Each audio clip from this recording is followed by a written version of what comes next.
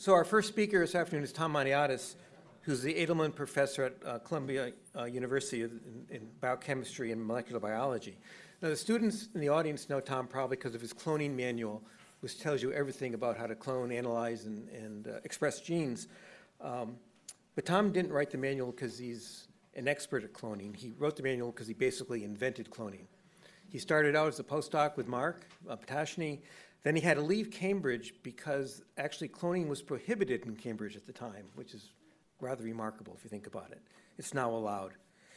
Um, and Tom really pioneered many of the techniques we use to clone eukaryotic genes, including cDNA um, cloning, library construction, and so forth. And he started out with this relatively simple gene, beta globin, in red cells because it's so abundant, and then moved on to harder things. Um, but he's made fundamental discoveries and, and uh, contributions to our understanding of gene organization, gene regulation, splicing, and so forth, and more recently, as you'll hear, neurobiology. And I was fortunate to spend a few years in Tom's lab as a postdoc uh, before I arrived at Yale. Now, uh, Sid and Tom actually were grad students together in Leonard Lerman's lab.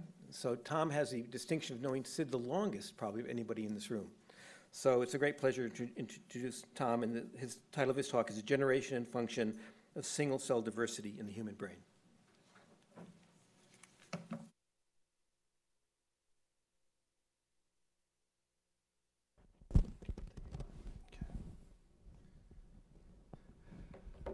So it's an honor to uh, be asked to speak today. Uh, as Dan said, I think uh, Sid and I know each other longer than anyone in this room. I, uh, he worked with Leonard Lerman, started out in biophysics at the University of Colorado School of Medicine, and at the time I was a undergraduate uh, at Colorado. And complicated reasons, I ended up at Vanderbilt and uh, did a rotation in Leonard Lerman's lab. And that's where I met Sid. And I decided to do my thesis there. And Sid and I had a very close interaction over the, the overlap between uh, his finishing and, and going on to Matt's lab. So uh, today I thought I would talk about uh, work that was started almost 15 years ago in my lab and it started out as a uh, attempt to begin to look at uh, regulated alternative splicing in, ma in mammals. At that time, my lab had done uh, a great deal of work on Drosophila, uh, understanding how splicing factors TRA, TRA2, uh, double sex work in uh, Drosophila. And that was made possible by the earlier genetics by others that defined uh, the genes that are necessary for alternative splicing. And that actually worked out in, in a way that was uh, wonderful, that it really defined fundamental mechanisms.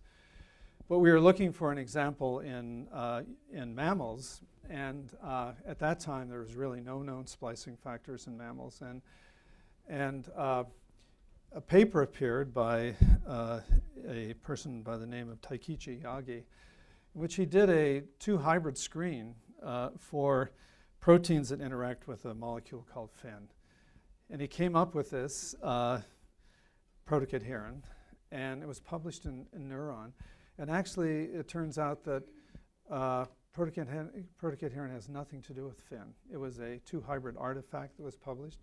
But what was important is that they had uh, sequences of the cDNAs, and they all had the same 3' prime end, but they had completely different 5' prime ends. And so we thought, that would be a, a wonderful example to begin uh, looking at alternative splicing in the brain. And the, uh, so these genes are expressed only in the brain. So this was before the human genome was sequenced. We started uh, putting pieces of data from, from, the, uh, from the database together, sequencing, and this is what emerged. So this is the uh, protocadherin gene cluster. Uh, it's a million base pairs uh, in length. It uh, consists of three clusters, alpha, beta, and gamma. And uh, it has an organization that is strikingly similar to immunoglobulin genes. Uh, the, uh, these uh, red, green, and blue uh, sequences are huge exons. They're about 3,000 nucleotide exons. And they encode the extracellular domain of this protein. And then down at the end, there are three small uh, exons that encode a common intracellular domain, and there are two different common intracellular domain, one that's specific for alpha and one that's specific for gamma. So this looked like a, a really interesting system to begin to understand uh, splicing. And so uh, this work was done by Chong Wu when he was a, a postdoc in my lab. And only later did it become clear that this cluster is fundamentally important for neural circuit development in the, in the brain. And in fact, it's responsible for these beautiful extension of arbors. This is a Purkinje cell. And you can see these arbors spread randomly. Uh, when they touch each other, they repulse. And they, they, film, uh, they, they fill the available space. And these molecules do that by providing individual neurons with a identity code. So how is that identity generated? We had to do a lot of molecular biology to figure that out. So this is the gene cluster, and we'll focus just on alpha. What we discovered that each one of these exons has a promoter upstream, and that the uh, promoter, when activated, generates a long transcript that goes from the start point of transcription through the uh, through this con- the constant region. If transcription initiates from alpha 1, that transcript is 350,000 nucleotides long. And uh, even though there are many 5' splice sites here, the only one chosen is the one that's proximal to the start point of transcription. That 5' splice site splices to the only 3' splice site 300,000 nucleotides away. The messenger RNA then uh, looks like this. It's the variable exon, the constant exon, and this encode, encodes the uh, uh, cadherin extracellular domains and this uh, the intracellular domain. So uh, over a number of years, we began to work out the regulatory logic of this uh, cluster. Uh, we identified enhancer elements throughout the region. We deleted those enhancer elements in mice uh, and demonstrated their uh, requirement uh, for neuron-specific expression.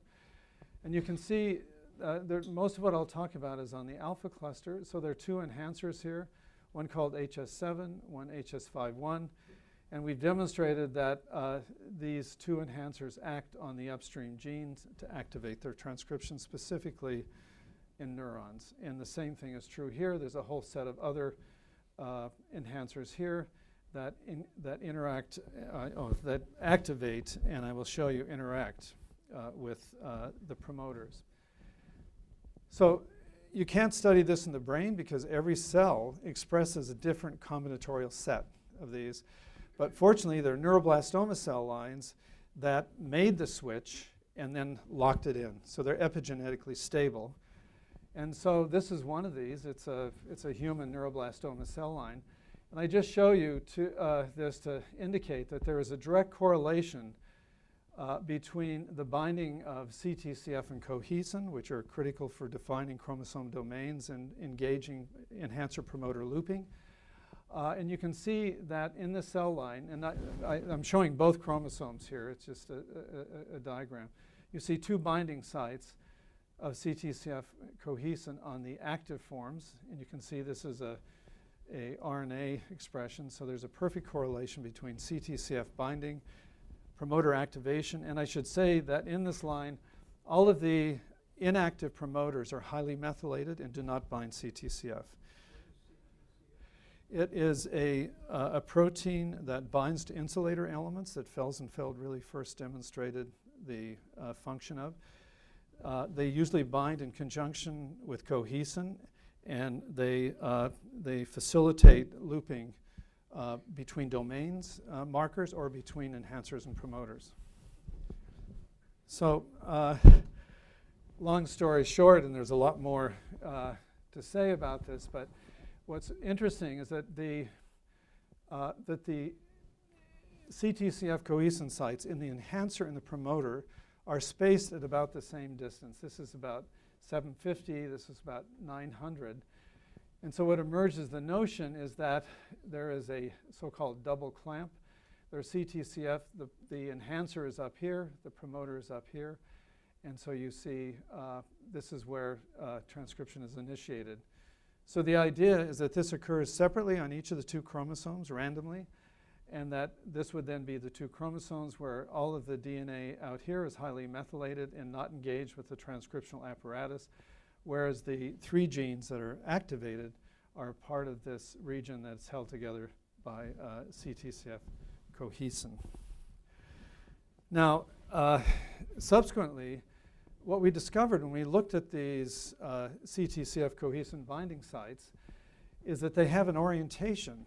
So as you can see here, there are two CTCF uh, binding sites uh, with each of these uh, promoters, and they're all faced in the same direction. However, the, uh, the, the, the two sites that I showed you in the enhancer are in the opposite direction. And it turns out that, uh, as I'll show in, a, in, a, in the next slide, this is a feature of CTCF binding sites genome-wide. So there's, whenever they appear, it's doubles. In most cases, they're in opposite orientations in the enhancer and in the promoter. This is a genome-wide uh, experiment uh, in which we're looking at all these interactions. This is uh, uh, using uh, ChIA-PET and other uh, methods, but you can see that 74% uh, of the cases, the CTCF sites are this way in the promoter and this way in the enhancer. And there, there's a small percentage of these. So this is a genome-wide characteristic. So we wanted to know whether there was a functional significance to this. So we did the following experiment.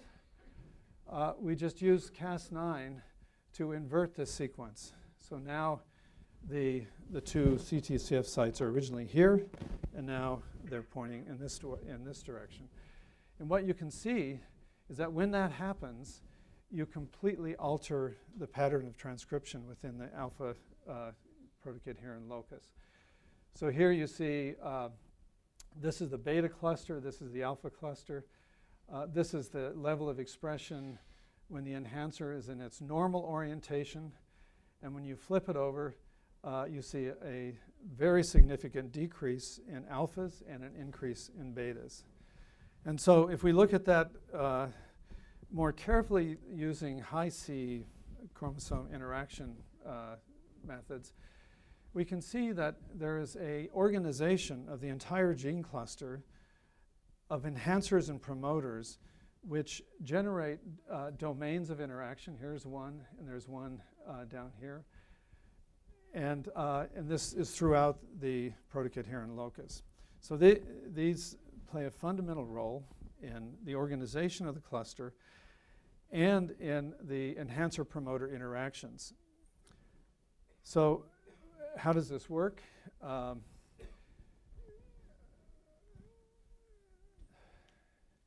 I left out an, a, a slide. Uh, well, I'm, I'm going to have to tell you uh, that the activation of these promoters is completely stochastic. So that in every cell, there's a different promoter in each of the three gene clusters and on each of the two chromosomes that is random.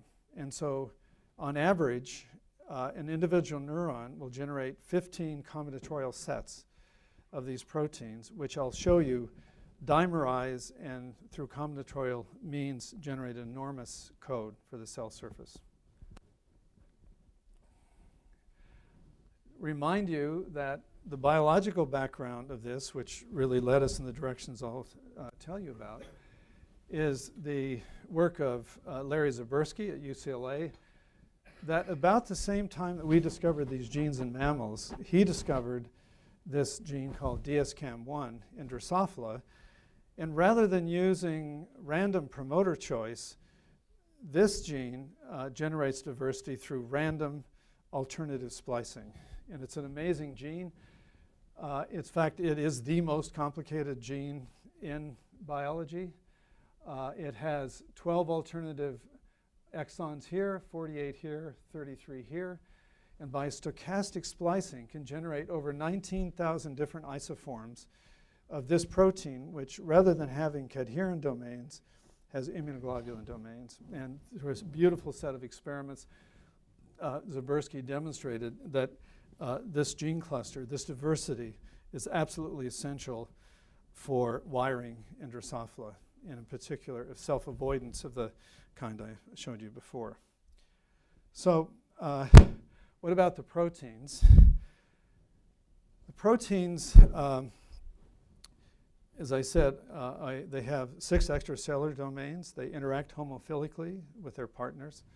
And so uh, we, we began a few years ago looking at this very deeply using an assay that uh, was worked out in Josh Weiner's lab of looking at cell aggregation with a cell line called K562, and it's used because it's a su suspension cell, so you can look at it, uh, you can look at aggregates uh, in suspension. So for example, you put a protokit in an isoform with a cherry tag on it, you transfect it into these cells, and if these cells uh, make protein that interacts homophilically, you see aggregates. So it's a simple assay for looking at homophilic interactions. This is not an assay for adhesion, it's simply an assay for homophilic interactions. And so we did, we, we looked at the entire uh, cluster, 53 isoforms, and they all, except as you see up here, engage in homophilic interaction. And this is a surprise, this uh, alpha, alpha cluster doesn't interact. But it turns out, through some nice experiments from A2 Chan in, in my lab, uh, we were able to show that alphas are carried to the cell surface by making a heterodimer with any of the other protoadherins. And so this just shows uh, the idea as you transfect alpha plus a carrier protein. And now, if you alpha alone, you see nothing at the cell surface. It's labeled in green with an antibody. And you can see either alpha beta or alpha gamma. You can see at the cell surface, at the interface of the homophilic interactions, uh, interactions that are specific. Now, what about if you uh, look at the trans-binding specificity uh, of homophilic interactions? And now what you do is you take one isoform and label it with M Venus green, the other isoform uh, with M cherry red. You mix the cells, and if they interact, you see mixed aggregates. If they don't interact, you see separate aggregates. So this was done quite extensively with virtually all the combinations. And what uh, emerged from this, so, so you can see if you look at this line here, you see mixed aggregates, and over all of these areas, they're separate aggregates. And what we showed by this is the uh, highly specific homophilic interactions. There are proteins here that differ only in 2% of their amino acid sequences, and they don't interact at all. Now, a concept came up uh, during, these, th during these studies that um, really affect the way we th think about this. And it's a concept of interference. And this is different than any other cadherin-like cell surface proteins. And as I'll show you in a moment, there's a structural explanation for that. So what we did is we did combinations, two isoforms, three, four, five, uh, did the aggregation study, and they either make, mixed colonies or separate colonies. And so now you have two cells that have, for example, five isoforms that do this. And so we then started uh, switching one of them out of the five. And what we discovered is this, and this is true for everything we've looked at, is that when you have a, when you have a mismatch, so here's go alpha 4, 17, beta 1. With alpha 9, you see separate aggregates. Same thing here, but when you have a perfect match, they make the mixed aggregates. And this has been done very extensively. And it was a puzzle. How can it be that one isoform out of five can prevent completely this interaction? So there's this interference, uh, which just shows here that if you have one, two, or three mismatches, you see separate colonies. If you have a perfect match, you see mixed colonies. So we then uh, uh, looked at uh, the biophysical parameters of this, and this was done in a very productive and exciting collaboration be- between our lab and the labs of Larry Shapiro and Barry Honig. And so what's shown here is just some uh, ultracentrifugational studies uh, of these various forms. These proteins were made. And what we could see here is that depending upon the number of these extracellular domains, you either made a monomer in this case, one through three, uh, with one through four, you make a dimer, uh, and one through six, you appear to make uh, a tetramer. So a cis trans tetramer, cis dimer, trans tetramer. And so uh, this, this suggests that these proteins uh, can form these combinatorial sets. They can be displayed at the cell surface and generate this enormous diversity. And so uh, a postdoc in Larry Shapiro's lab in collaboration with us determined the three-dimensional structure of a number of these proteins for the EC 1 through 5 domains at, a, uh, at about uh, between two and a half and three and a half angstroms for the different uh, molecules. And what you can see is that they form an anti-parallel interaction. So classic cadherins look like this. They're monomers, and they touch each other at their N termini, and that's where the specificity is. And that's how DSCAM works as well. But what's happening here is that they interact like this. And you'll see, I think, the significance of that. So um, what we believe, and I can't go into uh, all of the enormous amount of structural uh, work that was done to show this, is that we believe that uh, the interaction here is, you, as you see, is here's, and we've shown uh, definitively that the EC6 domain is the, is the cis interaction domain of these proteins. And so you can see they interact here, but because they're cis dimers, they then, and they're heterodimers, they can then, in principle, interact in this way. So a single dimer can act with, interact with two different dimers, as shown here, so a connected ribbon of cells. And we believe that that explains the, um, the interference phenomenon. So normally, if two cells, if, if, uh, if, I, if two dendrites of a single cell, of the same cell, come together, you, you see this uh, propagation of a lattice along the cell surface, as shown here. And that makes for a very stable interaction. And I, I, should emphasize here that these are not adhesion proteins. The consequences of this interaction is repulsion. And it's due to mechanisms that we don't really understand right now, nor is it understood in DSCAM, but that's the result. That instead of adhesion, they connect, they identify, and then they separate, and they, uh, they repulse. So what happens if you have a single mismatch? In, uh, interference. So what happens? This looks fine. And then, oops, suddenly there's a mismatch. And so you can only make a short chain in a very unstable membrane-membrane interaction. This is a model, but I think it fits uh, with everything we know. Now, the remarkable thing about this is that we have 53 isoforms with the protocadherin, 19,000 isoforms uh, with, the, uh, with DSCAM, but they seem to uh, carry out the same function as I'll show you in a moment. And, uh, but what, what's different is the mode of interaction, this versus this, and the generation of dimers. And it increases the diversity enormously, and you can, uh, you can calculate the diversity, and remarkably, they're almost identical. So you have these two completely different mechanisms for generating cell surface diversity, that seem to have evolved convergently to solve the same problem. Now, this, yeah, I'll, I'll just show this quickly. This is a, a calculation uh, uh, from Barry's lab. And what is plotted here is the average size of the assemblies of the lattice versus the number of mismatches.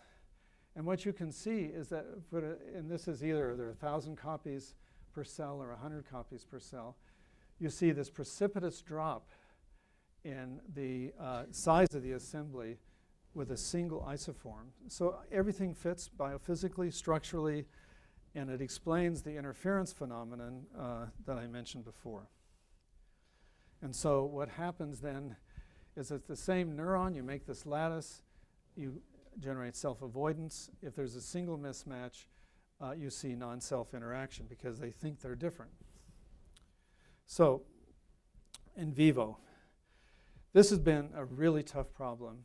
One, that it was it went much faster in Drosophila for obvious reasons, and Zabriskie uh, did a, uh, a, magnificent set of studies to sh show the importance of DS-CAMs in Drosophila. After years of effort, uh, we, in, co in uh, collaboration with Josh Sains, uh, were able to show that if you do a starburst amacrine cell specific knockout of the gamma locus, that you, that you go from this wonderful display of dendritic spread for, for these starburst amacrine cells to this clumping. And this looks exactly like the phenotype that Zabriskie uh, originally published. Problem with this is that if you look at the retina in these mice, all the other cells seem to be fine. So there's some kind of weird cell sp uh, specificity going there. But remember, there's alpha, beta, and gamma. And what I'm going to tell you now is that there's redundancy between them, and there seems to be cell-specific differences. And I should say that in, again, in Zabriskie experiments, he had to go from 19,000 down to about 2,000 potential isoforms before he saw a phenotype. So we think that that's why it's so difficult to see these uh, nervous system-wide phenotype. So we turned then in, uh, in these studies, uh, how much time do I have? Five? Okay. To the olfactory system. And most of you know this, but I'll just quickly go over it. Uh, in the olfactory epithelium, uh, the uh, the dendrites uh, are connected to cilia, which detect the odorants. They extend axons uh, across the uh, facial bone and into the olfactory bulb. And there the axons migrate to very specific sites within the bulb to generate glomeruli, which are the relay stations between the epithelium and the deep brain. And the important thing is that as Richard Axel first showed, is that the receptor that's chosen out of the thousand receptors determines where that exon goes. So if you express one specific receptor, it goes to exactly the same place in the bulb uh, to, uh, to engage uh, the, um, the, the, cortical connections. And moreover, the, what, as I said, the, the olfactory receptor that's expressed determines where the, glomerulus forms. So here is a diagram which shows the different types of uh, odorant receptors. And you can see that the blue guys go here, the green guys go here. So they all go to the right place in the, in the olfactory epithelium, determined by the which of the randomly expressed olfactory receptors are, are, are, are expressed in that cell. So we, we took two approaches to this. One was a dominant gain of function. So what we did was to express a set, a specific set of three protocoherence, alpha, beta, and gamma, in all olfactory neurons, exclusively in olfactory neurons, so they're not expressed anywhere else. And we did that by using the, the typical thing where we have a OMP, which is a, a general olfactory driver, expressing TTA, uh, activates TAT-O, and then we have a series of genes that have a 2A sequence to generate individual proteins so that we generate MYC, uh, alpha 4 MYC, gamma B7 TAP, P20 V5. And uh, we made two sets. We made UNI1 and UNI3. So now individual olfactory neurons will be expressing a very specific set. They will lose their random position, and these are expressed at sufficiently high levels that they overcome the endogenous program. And what you see here is that uh, when you do that, uh, here is uh, the wild type case, which is OMP, ITT, TET-O, GFP. And you see all of the, the olfactory uh, receptors that are, uh, that are clearly visible. And this is Uni 3 and this is Uni 1. Completely wipes out the formation of glomeruli in this case. So by having every olfactory neuron with the same cell surface code, you eliminate olfactory. This is a, this is a section where you can see uh, quite beautifully the formation of these glomeruli in the wild type and in the mutant. They're clearly, they, and the amazing thing is they go to the right place. They go into the bulb, they migrate to exactly where they're supposed to be, and then they spread out. An important experiment is to show that if you use a specific receptor driver, so you're only expressing it, in this case, in OMP, then what you see is you see the background of normal glomeruli being formed, but in the one type of neuron that's that is uh, expressing one specific receptor, you see that it does not organize into glomer- glomerulus. So that shows you that everything can be perfectly normal with all of the other glomerular formation, but if you're expressing this cassette in only one type of olfactory sensing neuron, it disrupts selectively its uh, wiring. So the idea is that under in the wild type case, you see the migration of these axons. They, uh, they go into the glomerulus, they go to the right place, and they and they form these glomeruli. But what happens here is presumably because they're all expressing the same set, they come together, they self-repulse, and they can't make a glomerulus, as shown here. I should say, in work I won't show, we did behavioral studies. These mice can smell, but they can't distinguish between different odors. So they, they can sense it, but they don't know what it means. Now, the more difficult experiment was to do the knockouts, and this took many years, and it's summarized here. Here's the entire gene cluster. We knocked out alpha, beta, and gamma, we being Wei-Xing Shen, a postdoc in the lab. In order to knock out the million base pairs, there are three essential genes within the locus. He had to make a back, put the complementary genes into the mice, and then complement the full deletion in order for these mice to survive. I don't have time to go into the details, but what you can see here is if you delete with alpha, you get normal formation of glomeruli. You delete beta, normal, and gamma, normal. So deletion of any one of the three clusters has no phenotype.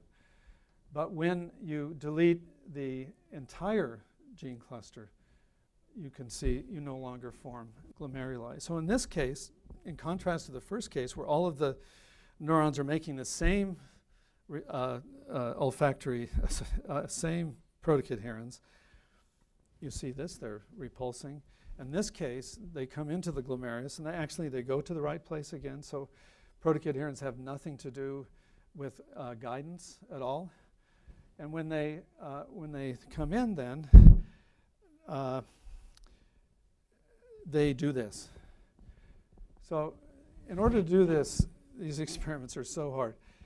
This is called uh, in utero elec- electroporation. We take uh, the appropriate mice, you open them up, the pregnant mothers, you electroporate GFP into them, close them back up, and then when the mice are born, you look at the, uh, the olfactory bulb. And what you can see here, these are individual olfactory neurons. So this is the case of the wild type, and you can see they're spreading out, and that uh, forms the gl- glomerulus. Whereas in the mutant, this is the, the uh, tricluster knockout, you see they clump. So they're, they've lost their self avoidance uh, function. So, uh, what we believe then is that uh, there is, in the tricluster deletion mice, this is wild type, and in the complete knockout, they collapse. Uh, the arbors no longer uh, uh, repulse each other. Whereas in the uni gene mice, is what I showed you before, where there's not, this is difference between self-recognition and non-self discrimination. And so normally they go to the right place. Now they go to the right place, but they can't form a glomerulus because they're, they're repulsing. So uh, there's a lot more to do here because there are other neuronal cell types. We have some really interesting data on serotonergic neurons in which a different mechanism is happening. And I think that what we've learned over the last two years is that instead of this sort of general phenomenon that they're functioning the same in all cell types and they're all being expressed, I think uh, their uh, specific, uh, their expression of specific clusters and specific cell types and different functions. So I'd like to acknowledge the people who did this. In my lab, uh, Chan A2 was the one that did all this beautiful homophilic interaction study. Wei-Xing Shen was the mouse geneticist that did all of the work I just mentioned. George Montefiore uh, is a graduate student that did the olfactory sensory neuron, and uh, Daniele Canzio was involved in this, uh, the, the flipping of the CTCF sites. Uh, we've had this, uh, as I say, a wonderful collaboration with Honig and Shapiro's lab. Rotem Rubinstein and Honig's lab did all of the computational work. Kerry Goodman, a crystallographer in Shapiro's lab, generated the structures I showed you. Uh, we collaborated with Chang Wu, who was the person who originally discovered it when he was a postdoc in my lab. Uh, the, the experiments related to the looping and inversion of CTCF uh, was done in collaboration with him. And I mentioned the, the work with uh, Josh Sain's lab. Thank you.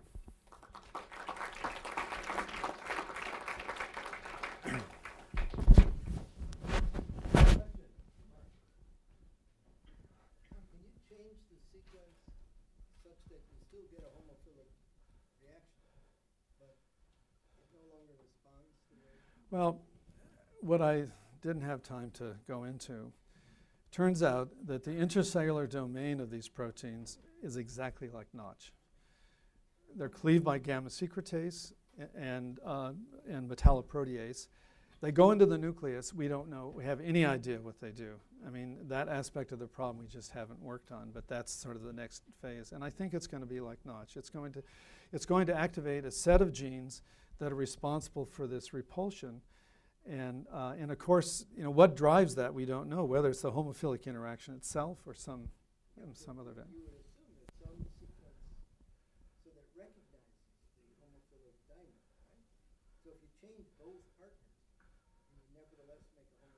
Oh yeah, that works. Yeah, yeah. So it doesn't matter what. No, it doesn't matter what it is. It's a completely random code, uh, and all the only th important things is is that you make these stable interactions, that lead to these downstream effects that uh, are responsible for the repulsion.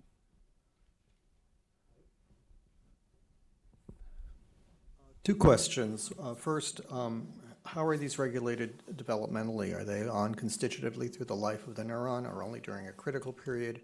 And secondly, within a neuron, how are they localized? Because there are many neurons that actually make self-connections and recurrent connections. Do you have localization that permits that?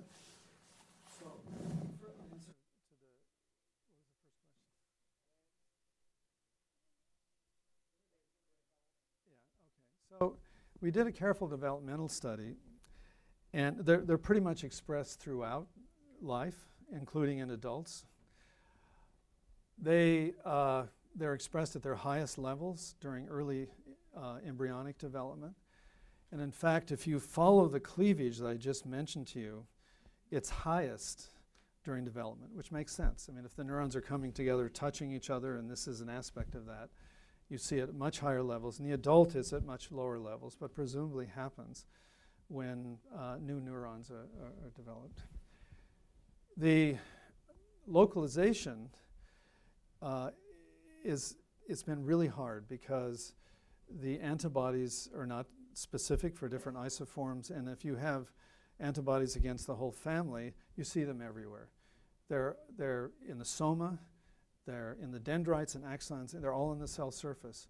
So we, we haven't learned much about that. But I should say that you know, the notion with the, the initial hypothesis of Sperry, this chemoaffinity of hypothesis that you make molecules at the synapse, these are not the, the guys that do that. These are not involved in synaptic specificity at all. They're only involved in self-avoidance and tiling.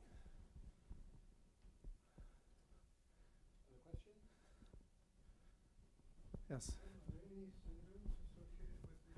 Ah, interesting. So there are two things. uh, We're quite excited about this now. So when Mike Wigler did his massive uh, sequencing of the Simon Simplex collection of auti- autistic children doing trios, they generated about 200 variants that statistically fit with a possible role in autism. And these are, several of these are among those. So they've been connected with that. Uh, we have, uh, we were contacted recently by a uh, pediatrician in Stockholm that has this very unusual case in which they have, they have two daughters. So the father has one mutation in the protocadherin locus, the mother has another. Both are unaffected. But the two girls, the two uh, siblings, have both had were unlucky enough to inherit both of them, and one died after a year of uh, terrible abnorm- abnormalities of brain uh, formation, and the other one's still alive, but she's has horrible symptoms, and so. What's interesting is that the only thing you can detect in, in deep sequencing of both are these two changes. Hmm? Well, it, yeah, I think it has to do with the complexity of generating this code, is that one doesn't seem to be enough. One of the mutations is in the EC6 domain for the cis interaction, and we've, we've shown in, in our aggregation assay that that, that actually affects um, the carrier function for alphas. I mentioned that to you. Uh, and it's very selective. So it's a very subtle mutation that affects cis interactions. The other mutation is in the intercellular domain near a highly conserved serine phosphorylation site. And so, you know, the, the idea is that these in combination lead to this terrible phenotype. We have iPS cells, we have motor neurons and uh, from these.